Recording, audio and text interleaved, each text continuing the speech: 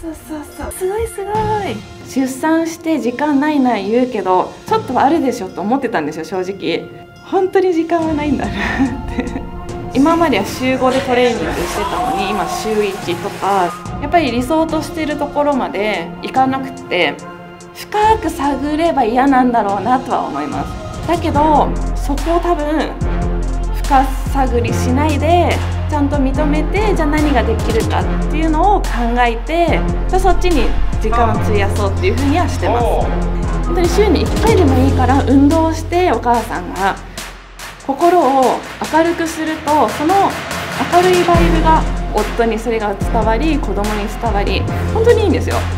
だからそれは特に夫の方に知ってほしいなって思います。OK